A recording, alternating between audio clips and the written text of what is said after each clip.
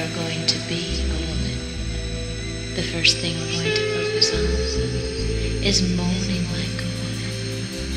When you become aroused after you wake up, the next time you masturbate, the sounds that come out of your mouth will be very feminine, very girly, and very sexy. Right now, I want you to open your mouth. Just let your lips